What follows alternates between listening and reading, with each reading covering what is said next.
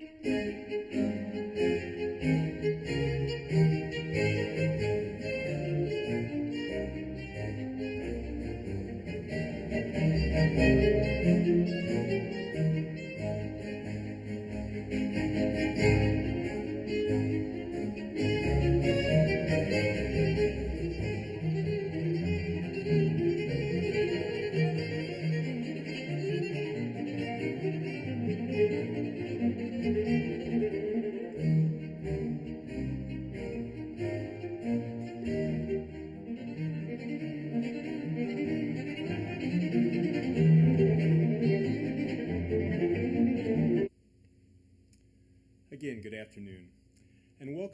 2007 Alice Louise Reynolds Women in Scholarship Lecture.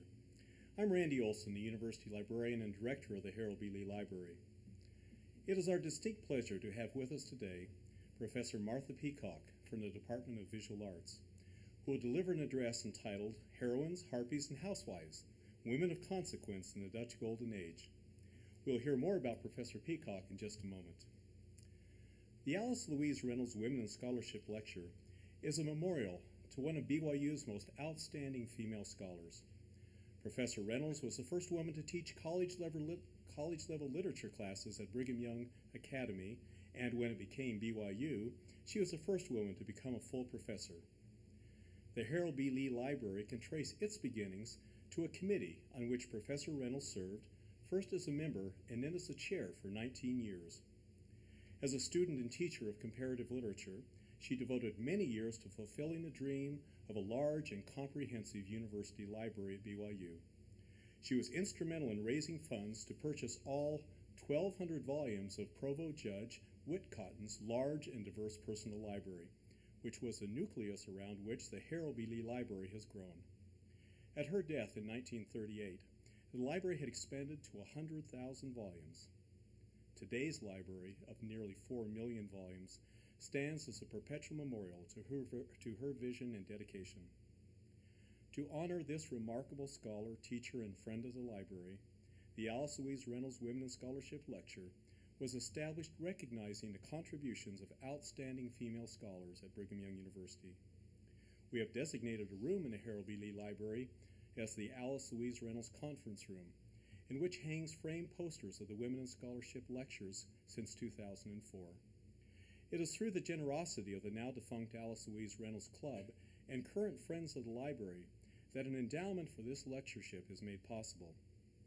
Following Professor Peacock's address, we'll be pleased to have a brief question and answer session. And now to today's featured speaker. Martha M. Peacock earned a baccalaureate degree at BYU in 1978 and an MA and PhD, PhD degrees from the Ohio State University in 1985 and 1989, respectively. She returned to BYU to teach art history in 1987 and currently holds the rank of professor. In her published work of nearly two dozen articles, chapters, and encyclopedia entries, Professor Peacock has examined the role of women in Dutch art and the portrayal of women in the artistic works of Northern European painters. She has been a curator of BYU of exhibitions on Rembrandt and is a principal in a 2010 exhibition of Rembrandt's mid 17th century work entitled The Head of Christ at museums in Philadelphia and Detroit. Throughout her career, she has delivered papers and presentations to conferences at the University of Padua in Italy, in Antwerp, Belgium, at the annual Conference of Art Historians in London, and at various universities across North America. In conjunction with her passion for her discipline, Professor Peacock is an apt role model and compassionate mentor to a younger generation of art historians. Professor Peacock and her husband Greg are the parents of five children Justin, Byron, Andrea, Alex, and Laurel. A gifted teacher, she is a mentor in the spirit and mold of Professor Reynolds and embodies the desirable attributes of faithful scholarship for which Alice Louise Reynolds is most famous. It is with a great deal of appreciation the library is pleased to introduce today the 2007 Alice Louise Reynolds Women in Scholarship Lecturer, Professor Martha Peacock.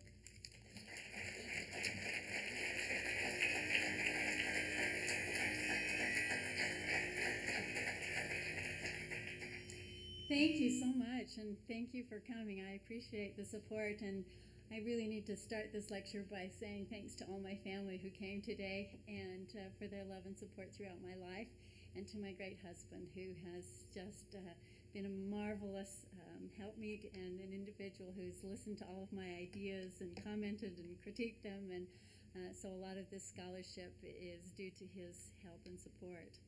I thought I'd start out today by giving you a little bit of a background uh, to the Netherlands. It's been interesting to get emails from people all across campus today saying, "Now, is this Norway or you know Denmark or what, what's Dutch?" And so it's been kind of a, uh, an interesting um, uh, start to this to realize that I needed to prepare you a little bit about the Dutch Golden Age. Uh, we essentially see this beginning in the late uh, part of the 16th century, but uh, mostly through the 17th century. Uh, this happens because the Netherlands, uh, which at that point in time encompassed today modern day Holland and Belgium, um, in that time was all called the Lowlands of the Netherlands and belonged to the old Holy Roman Empire. Empire. In the 16th century, the empire splits into an eastern and western portion, and the uh, western portion, including Spain and the Netherlands, uh, was given to Philip II, who was an extremely devout Catholic king. This is the time of the Inquisition. This is the time of the Jesuits. And uh, the Netherlands, which was becoming increasingly Protestant then at the end of the 16th century, had real problems with this very uh, um, intensely Catholic king. And um, in the year 1566, riots broke out in Antwerp in which the Protestants were going into the churches, the Catholic churches, and destroying images of art, uh, what are called the iconoclastic riots. Uh, because Calvin, uh, the Protestant leader who had established a community down in Geneva, Switzerland, uh, decided that this was worshiping icons and therefore we shouldn't have art in the churches. And so uh, these riots then uh, ended up destroying quite a bit of art. Well, Philip decided he wasn't going to let them get away with that, so he sends up troops. Well, in those days, to send up a whole uh, set of troops to the Netherlands took about a year. And by that point in time, the riots had quelled and so on. Uh, but he came up to get vengeance on those Protestants who had destroyed those images. And so uh, war breaks out, and uh, uh the Duke of Alva sends in his troops into various parts of the northern Netherlands and holds sieges on various cities, Haarlem, Alkmaar, Leiden, and so on, uh, trying to starve the people into submission. Uh, but they absolutely decided they wanted their freedom more, and uh, so they held out, at times even flooding a city so that the Spanish couldn't get it.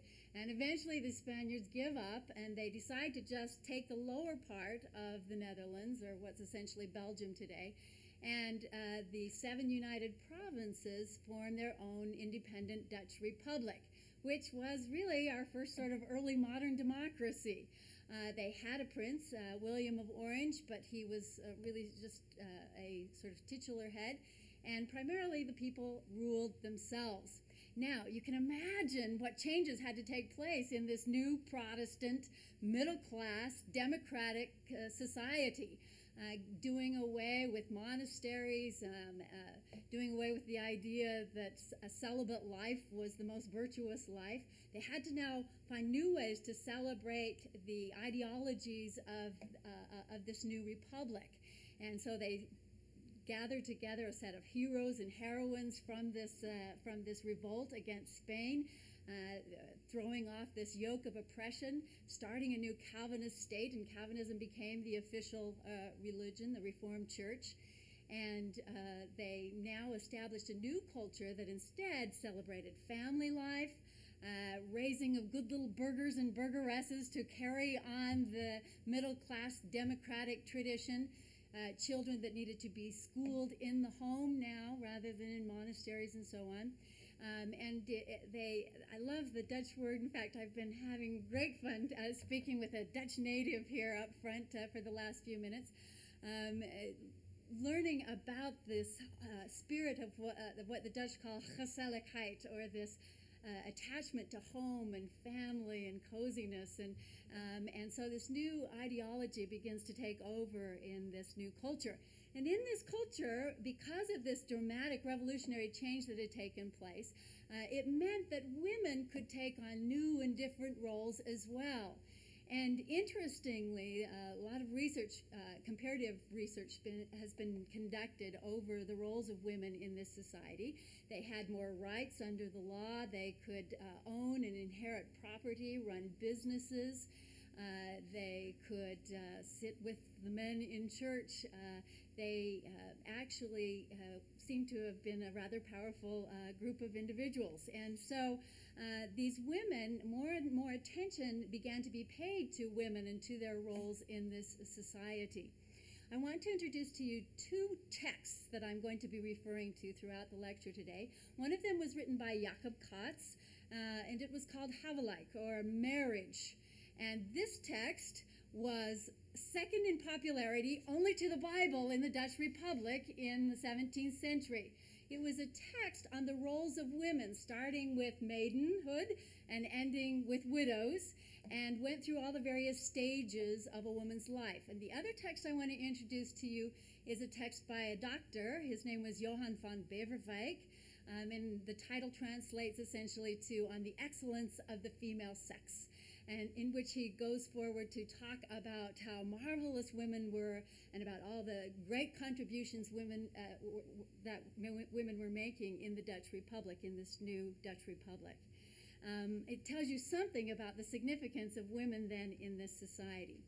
The other thing I want to set up for you before we get started here is uh, a change now in the role of art. European art up to this point in time had dealt with primarily two types of subject matter for the most part, either religious themes or themes that uh, were mythological or historical in nature. We're now going to have a whole different sort of patronage and way of making art, however, in the northern, uh, in the Dutch Republic, in the northern part of the Netherlands, in which the church is no longer buying art, right? They don't want art inside the churches. The royalty doesn't have that much power, so they're not commissioning much art. So who's going to be buying art? The middle class. And no longer are we going to have Sistine ceilings painted, but we're going to have tiny works of art for the home, things that you would want to be hung in your home. Same things we have hanging in our middle class houses today landscapes, still lifes, genre, or everyday, ordinary types of scenes, uh, portraits, uh, but also lots and lots of prints.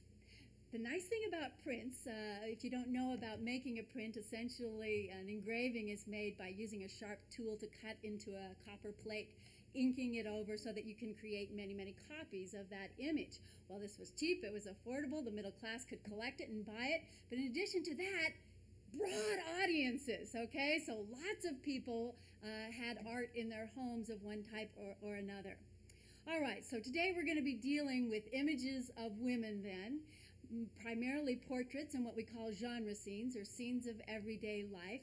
Um, and in particular, one uh, type of genre scene became very popular during this period, um, and that was the domestic genre scene. And I know most of you are probably familiar with Vermeer and uh, those marvelous images of women in the home, which we'll be taking a look at uh, today.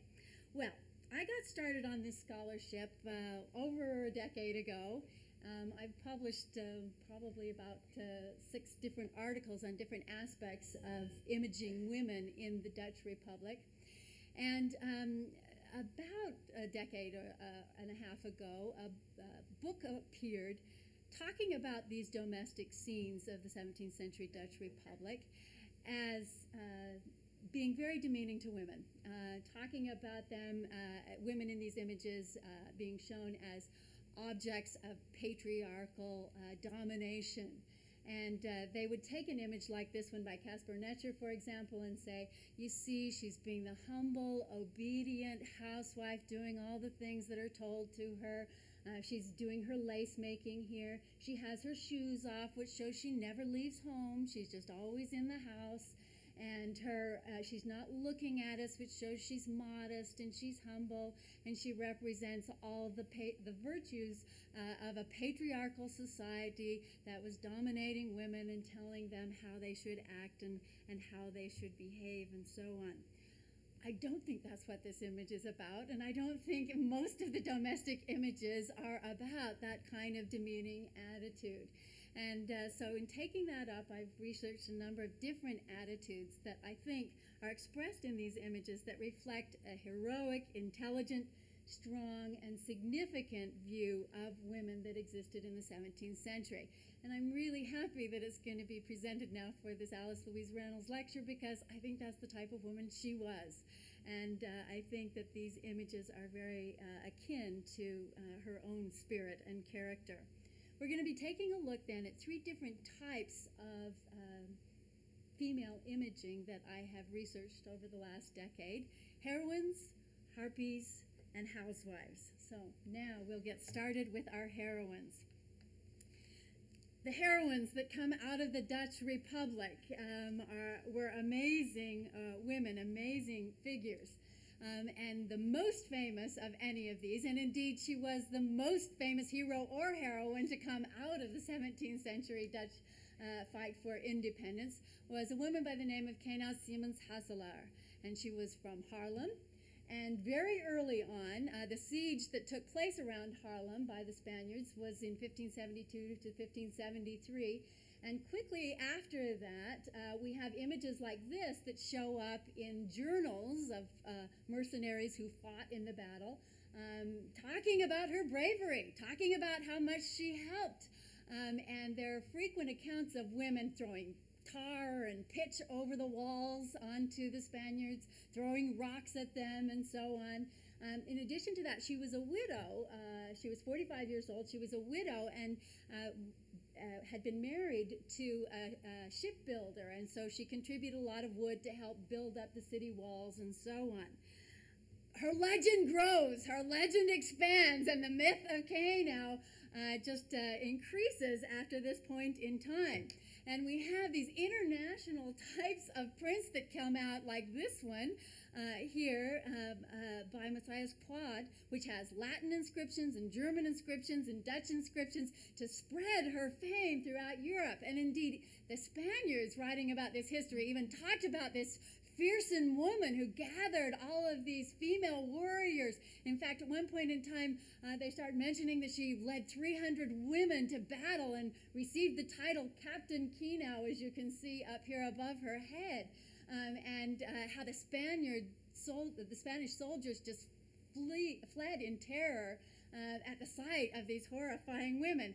And you'll also notice as we move along here that she's shown grander and more magnificent and more heavily armed almost in every image, where she gets a sword, uh, a powder case here, a pistol, uh, and a pike here, uh, shown up on the hill so that she's this magnificent, monumental kind of figure. Um, and, and she just gets grander and grander as we go. And you can see she's not far from representations of male soldiers, of male heroes from uh, the revolt. This is actually one of her relatives, um, who you can see standing uh, above the city on a hill in a similar kind of fashion, uh, with a pike in one hand and a sword and so on. That hand on hip pose, uh, you know, giving a sense of, of strength and power uh, and monumentality and grandeur here in these marvelous poses. So, really equating her then with the men uh, who fought in the revolt as well.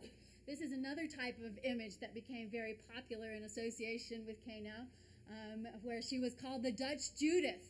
You remember Judith from the Bible who cut off the head of Holofernes to save the Israelite people? Well, she's shown as doing the same thing with the head of a Spanish general sitting here on her table. Um, and then the inscription underneath uh, basically declares that she is the Dutch uh, Judith, as again, she's very heavily armed. Um, here's another uh, bit more gruesome Judith uh, scene now.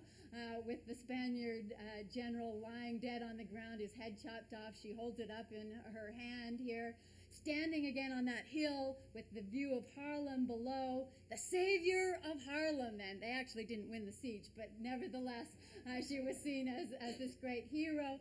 Um, again, Captain Kenau, as she is labeled.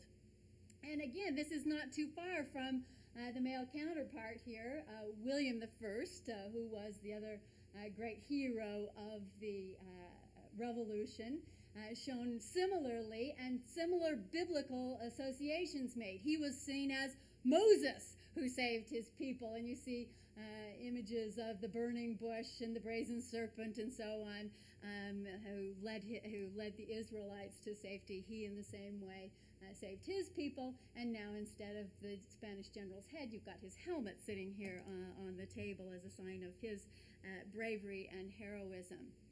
All right, this marvelous image that they used for the poster uh, demonstrates that not only were prints made of her, but numerous, numerous paintings made of Kenau Simons Hasselaar. And now she's just armed to the hilt here with her powder horn, her pistol, a couple of different swords, her pike, and a medal uh, showing that she's been rewarded uh, here uh, for her bravery. Uh, these types of images uh, were both nationally patriotic as well as patriotic for the city of Haarlem. Uh, we see through the arched opening here in the background the view of the Haarlem Church. Uh, so it's a sense of pride for Haarlem that Kenau comes from Haarlem. As a matter of fact, when you go to visit the city of Harlem today, there's still this magnificent painting of Kenau in the town hall. It's never been removed. Um, as, as one of their great uh, uh, forebears.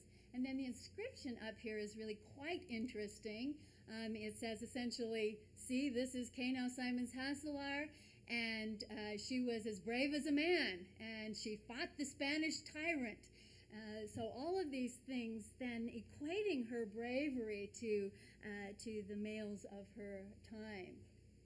So famous in Haarlem that they even wrote a play about her, and uh, this uh, mid 17th century play was performed in Haarlem with her again uh, saving the day and encouraging the women to fight on, to continue with the battle. Now, the key that shows how, how famous a heroine she became, what a significant figure she was in Dutch history, is a book that comes out uh, 17th uh, century by Van Gelre, who writes about the heroes and heroines of the Netherlandish past. The first portrait, the first image uh, represented in this book is William I. The second is Kenau Simons Hasselaar. So even by this uh, point in the 17th century, uh, she was greatly lauded, uh, uh an awe-inspiring uh, type of figure. She wasn't the only one, though. Uh, uh, several other cities in the Netherlands uh, developed their own heroine out of the revolution, and this one's name is Trijn van Leemput from the city of Utrecht. And uh, this inscription tells us this is a 17th century painting of her, but this inscription tells us that essentially uh, she uh, was so brave that she went out and did what the soldiers didn't dare do, uh, or the burghers didn't dare do, which was to destroy the Spanish castle of Vredenburg. And so we see these women all gathered here in the background with all their household implement tongs and pots and brooms and things.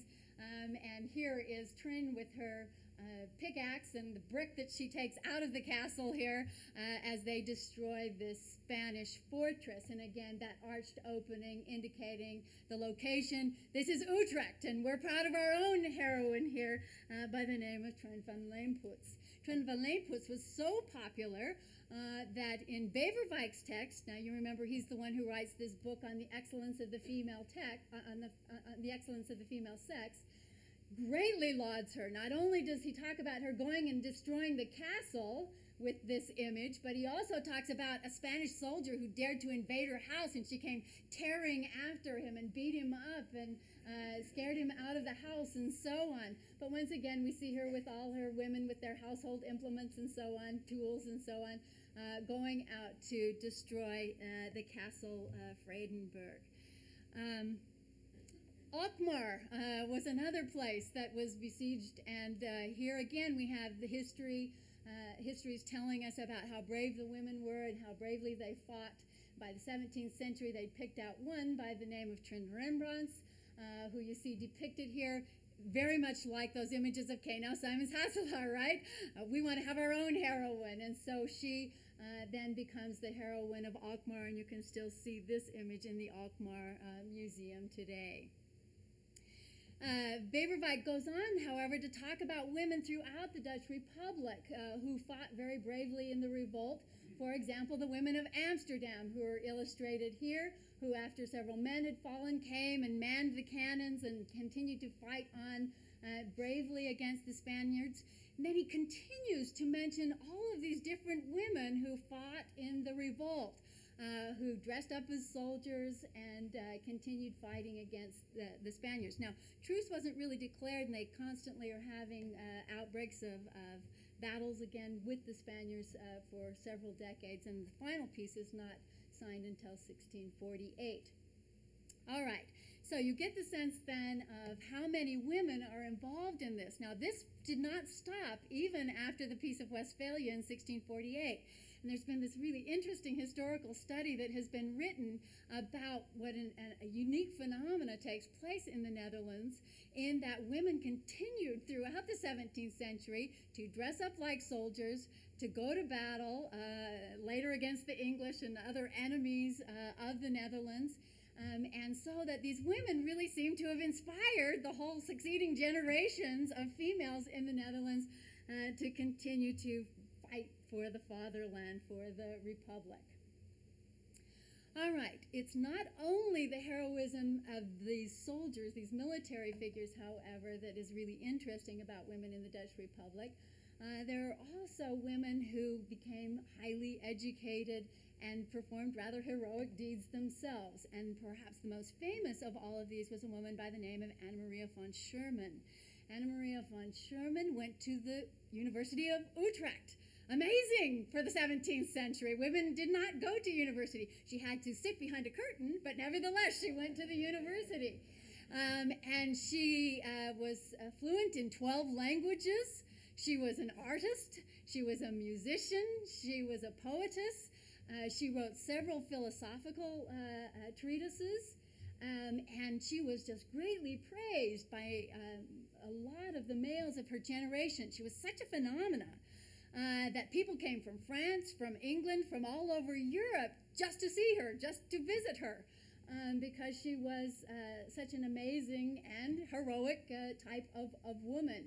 You can see here in this self portrait that she does that she uses a similar kind of format to what we'd seen with those heroine images. This arched uh, opening uh, with a view of the Utrecht Cathedral out here, and now on her table she has her instruments of heroism, books, uh, books and paper and treatises and pens and so on. Um, and uh, this was a dedication page to Jacob Cats's text. And you remember I told you how popular that book was. You've got to keep that in mind. That this is spreading out to everybody now who sees this extremely famous, learned uh, woman uh, by the name of Anne Maria von Schurman. And he goes on for several pages to praise her. Johann von Beverwijk also dedicates his text on the excellence of the female sex to Anna Maria von Schurman. So she becomes this extremely famous uh, individual, and lots of females trying to emulate her here. And here's some good examples. Uh, this is another woman by the name of Margaretha van Godewijck, who was from Dordrecht, and you see her church outside her window here to uh, show the fame of Dordrecht. And this is the frontispiece to a book on Dordrecht. And, um, and uh, not only is the image comparable to what we just saw with Anna Maria von Schurman in trying to emulate her, but he goes on to praise her for several verses, talking about the languages she's learned and how she's become an artist. And this was done after a self portrait that she had made. Um, and not only that, she's as great as Anna Maria von Schurman. You know, so it's this competition between the cities then to show they have just as heroic a women uh, as these other places. Um, that continues with a woman by the name of Joanna Koerten Blok, who was a very famous artist at the end of the century who paper cut made paper cut designs, which we don't particularly consider a fine art form today, but they're amazingly intricate works of art. Um, became very famous, and here she has herself portrayed with, guess who? Anna Maria von Schurman. And the inscription down here below again equates her abilities and her talents with Anna Maria von Schurman. And almost a whole century has gone by from that first image that we saw. So you see how lasting this legacy is now, how important this connection uh, between these generations of women uh, was. Here's a portrait of her in a, uh, artist biography that comes out at the end of the century in which several women are included. Um, uh, Geertruydt Roghman, who we're going to talk about, Anna Maria von Schurman, and Joanna Koerten Blok, uh, is only one of three artists who gets a whole page illustration of herself and trumpeting her fame here, being crowned with a laurel wreath. I mean, these are the aspects uh, of heroes. Another woman included Maria Sibylla Merian, who goes to the West Indies, lives in these horrible, primitive uh, uh, circumstances to document the flora and fauna of the West Indies, and she comes back and publishes these books. So, uh, many, many heroic, famous women coming out of this era. One last type of portrait that I'd like to deal with is the portrait of uh, regentesses. Um, the, all the charitable organizations had to be taken over uh, civically uh, once uh, the Calvinist Church uh, came uh, to power in the Netherlands. And so well to do middle class uh, individuals uh, became the caretakers then of homes for the elderly and orphanages and so on. And in the um, entryways to these institutions, you would see these portraits then of uh, the people who ran these institutions, both males and females. And again, there's a sort of equality there um, in which you see these. Um, powerful, strong, and yet I think very benevolent uh, kinds of figures in these uh, in this portrait of the regentesses for the old men's home, where Frans Hals, the artist here, uh, lived in his in the later stages of his life. So many many images then of powerful uh, women coming out during this period. Now, because of all these glorifying images, you would assume well everybody just very well of the women of this era and uh, and that they had this very strong, powerful uh, effect in society. Um, there was, however, an antithesis to this of uh, obviously males who were rather threatened uh, by all of this uh, power of women. Um, and we have a number of images, now moving to our next category, harpies, uh, that deal with satirizing the power of women. Well, there's no need to satirize that power if women don't have any power. So, again, I think it is a sort of underscoring of the fact that uh, they were seen to be kind of threatening uh, to uh, certain individuals in this society. And one of the favorite sort of representations of this was what we call the topsy turvy world or the upside down world type prints, like you see here. Uh, where you have uh, animals driving plows pulled by human beings, or you have children feeding their parents or spanking them or carrying them. Um, and paramount in these images were women who dressed up like soldiers while men stayed at home and spun. Or women soldiers who, you know, stormed the castle here. So a direct relevance to all of these heroine images that we've just been looking at uh, in terms of saying, hey, this is a world gone haywire where women are on top and they shouldn't be, um, kind of an idea.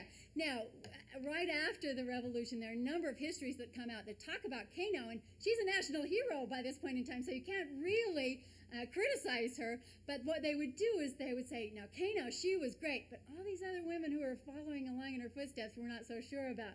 Uh, an, an, individual by the name of de Viver uh, writes a book uh, in the early part of the century where he says, Yeah, Kenau was great and she really saved the day, but wouldn't you really hate to be married to a woman like that? That was his conclusion, uh, essentially.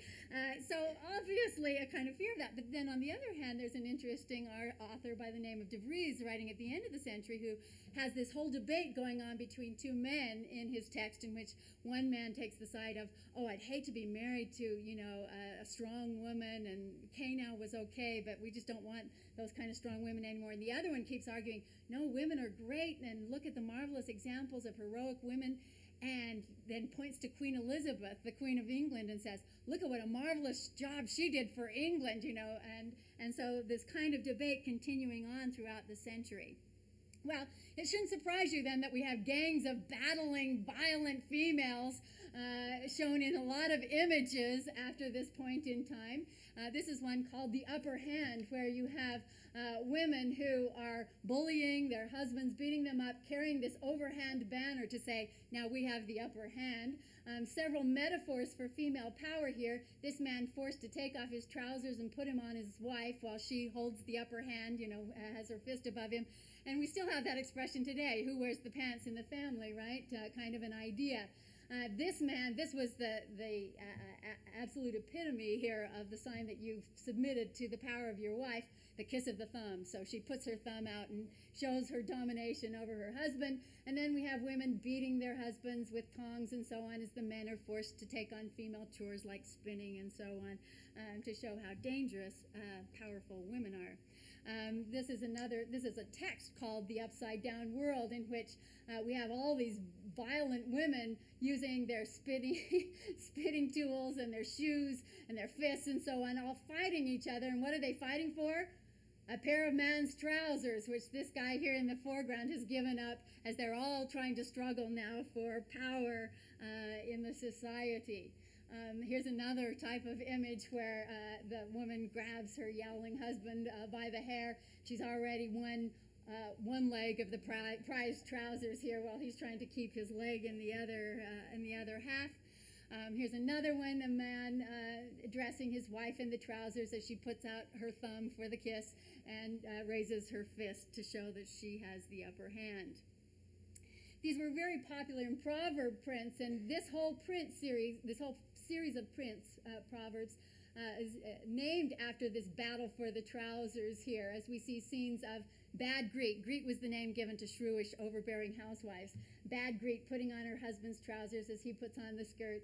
These are more women fighting over the trousers here. And this was another sign of male submission. Uh, essentially, the proverb reads, He takes care of the egg while the hen goes walking. In other words, the man's left at home to take care of the children while she goes out into public. Um, and uh, this developed a whole new theme called the Henna-taster, and we have just numerous, numerous images of Henna-tasters.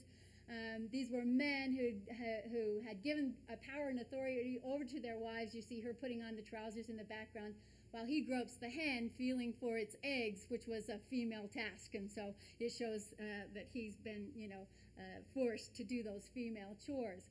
Sometimes they're shown scrubbing the floor. This was an image called Man's Verdriet, or Man's Misery, as his wife sits nearby with the tongs ready to beat him at any moment. Uh, and here's another one of the woman forcing her husband to spin.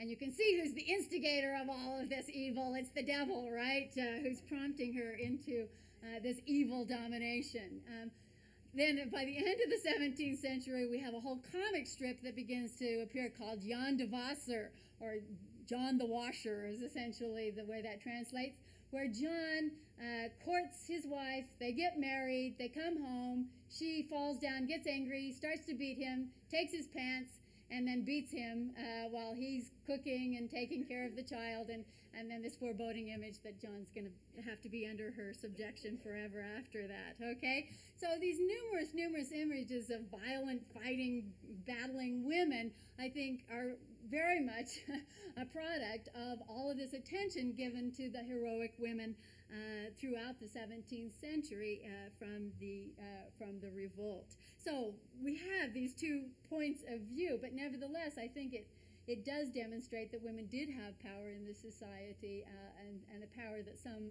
feared was getting out of control, out of hand. Now we finally come to our last uh, section, uh, the housewife images. And I want to say that I think this is another side to the same coin, in which, um, as I said, uh, uh most feminist scholars have looked at these images and talked about how uh, patriarchal they are, how they show female submission, how, how they encourage humility and virtue and so on in women in terms of staying at home and, and um, doing all of those patriarchally prescribed roles. I don't think, however, that that's the point of these images, and I don't think women of the time would have seen them in that light at all.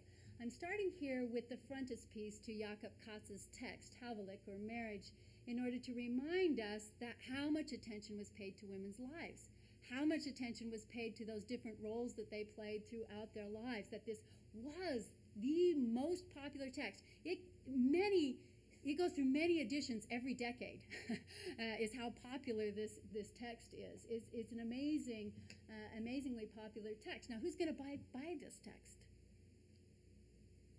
Are a whole lot of men going to be buying this text on the roles of women? You figure it's got to be mostly women who are buying this book, right? Um, and I think in the same way, women were buying images about themselves, about their lives in the domestic sphere. Um, domesticity only got a bad name after the feminist movement. In other words, it was seen as something of low status and un- unimportant and insignificant. But I think in Dutch society, it was an extremely important role. After all, these were the one, these were the people who are now going to be educating and bringing up a whole new generation of citizenry that needed to be schooled in uh, in democracy and how to to run this new society, this merchant uh, middle class uh, society. Uh, this society, in part, owes its um, golden age to the fact that it was a very uh, significant and powerful uh, trading force in Europe. Uh, but it also had, of course, the East Indies Company, the West Indies Company. they became a very well to do nation. Um, and it's an interesting thing that women became increasingly educated. Foreigners who come to visit the Netherlands are just astounded that the women act in business, uh, particularly because their husbands are gone for long periods of time uh, away from home.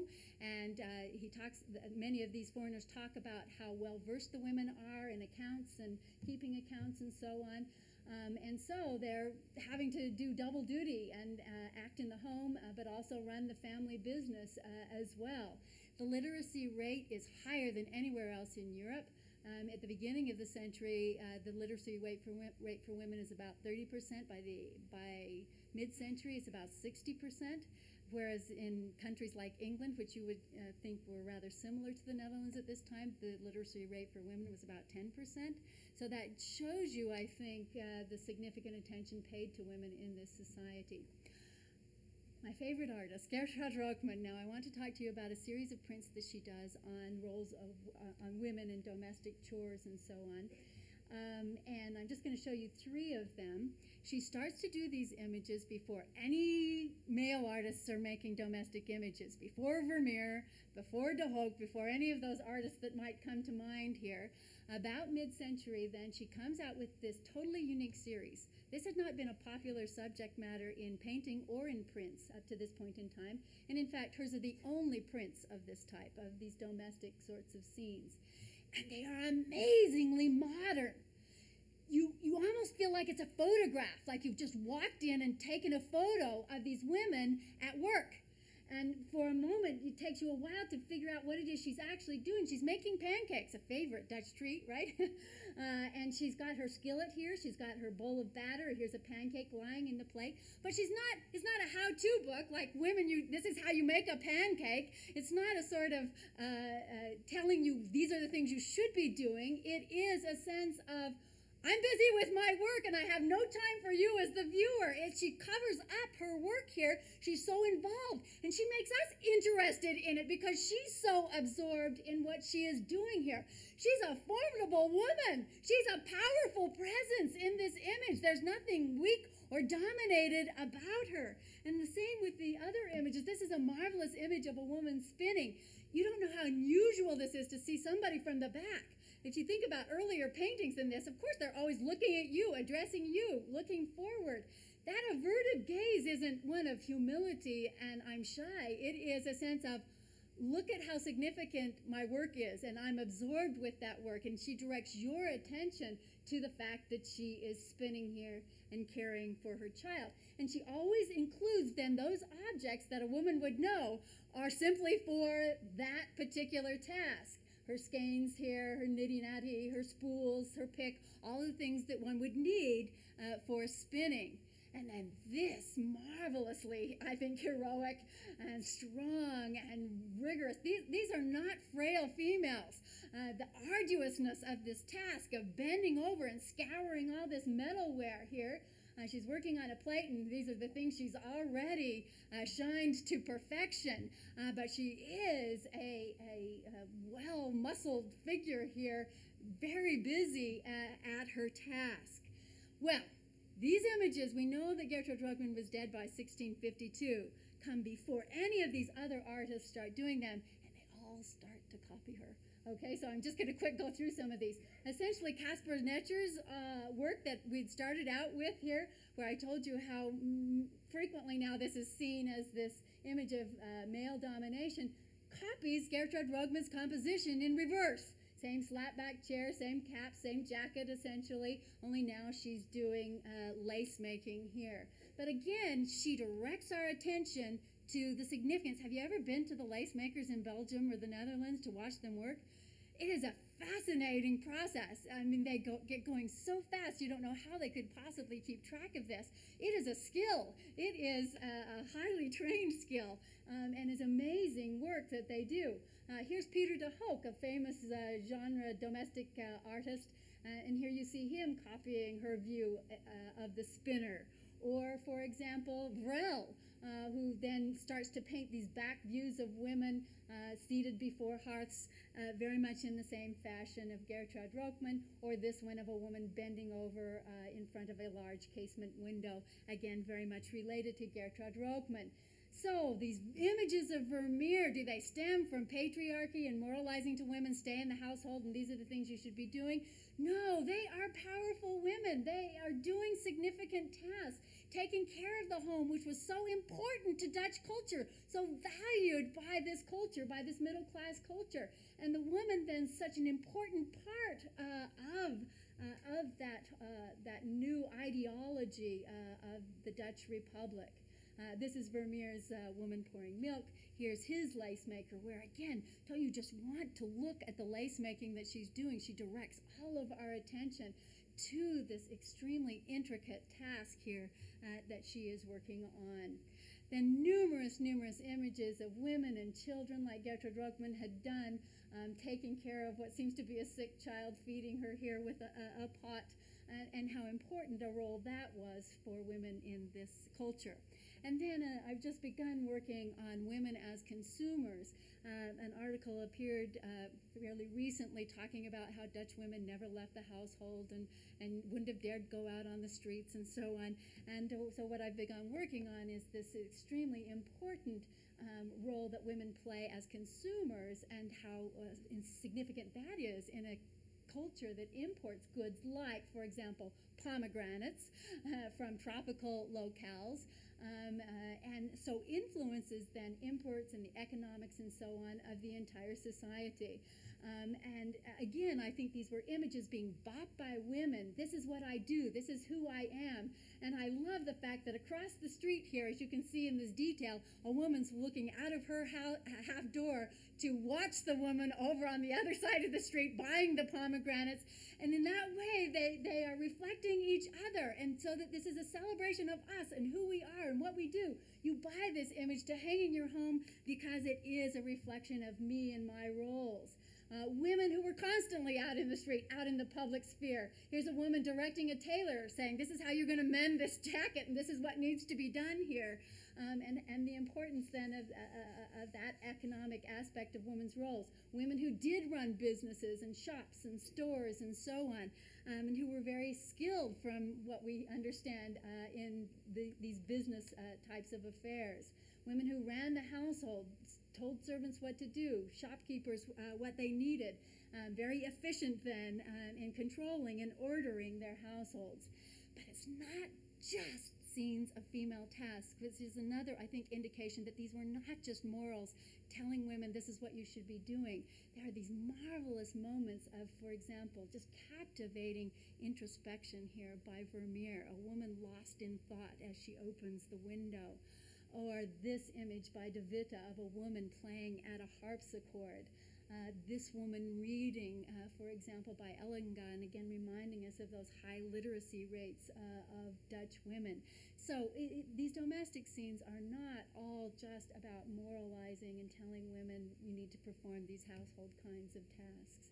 And I want to end with this image today. Um, uh, it, it looks like a domestic genre scene, but actually it's a portrait uh, a woman by the name of Adriana van Heusden, who, I, who obviously decided this is what I want my portrait to be like. I want to have myself shown out shopping. Okay, so we got to think about why that would be the choice. Now, Adriana van Heusden uh, had this done by an artist by the name of De Witte. And De Witte was living at the Van Heusden household. And um, he left during the night and actually took this portrait with him when he left. And she sued him to get this portrait back, which shows you how much she valued it and probably determined the way that it was going to be represented and obviously loved this portrayal of herself. Um, it is heroic. It is the heroic housewife bringing the two together here as she now uh, represents everything that is Dutch from the middle class nature of women going out and taking care of their own households and shopping for the fish, teaching her little girl over here in her shadow uh, how to shop as well. And we have women running the marketplace also. Uh, it brings up that sort of Calvinist uh, work ethic and middle class kind of background. Uh, but also the Dutch uh, maritime trade and interest in the ocean with all the fish laying, laying out here. She's displaying what is Dutch and that I'm a heroic housewife of this Dutch Republic 17th century golden age culture, and I don't think there's any man who was going to tell her what to do. Thanks.